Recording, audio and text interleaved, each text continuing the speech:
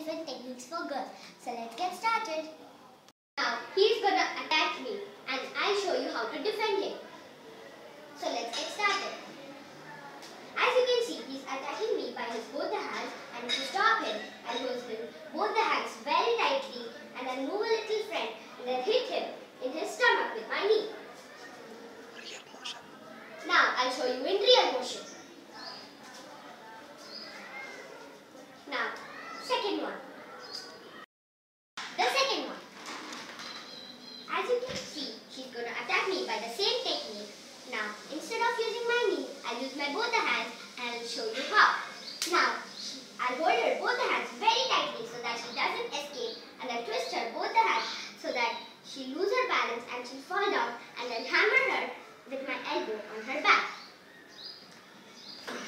Now, I'll show you in real motion.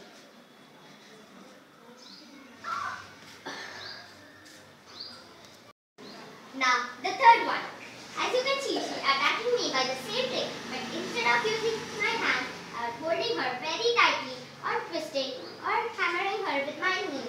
I will stop her with my both the hands and stab her leg and then punch her with and then punch her very hardly with my hand. And then I can hit her anywhere on the hand, but make sure you don't hit it on the chest because she's a girl. Now, I'll show you in real motion.